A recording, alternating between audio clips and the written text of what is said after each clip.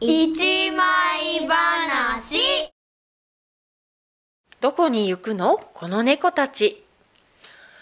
海の中の三毛猫がウミガメに乗って遊園地のジェットコースターに乗ったら宇宙まで飛んで行って亀は一旦海に帰って猫が流れ星や月や太陽でいろんなことがあった後また海の中で再会した2匹は再びジェットコースターに乗って猫の国のパーティーに向かいました。終わり。デートはお家で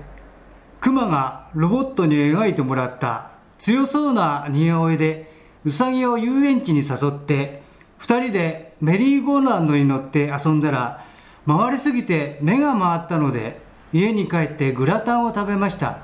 終わり。タヌキと人間。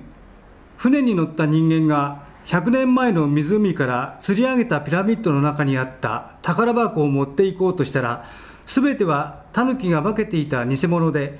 怒った人間がタヌキを湖に投げ込んだら大きな魚になって逆に飲み込まれてしまいました。終わり。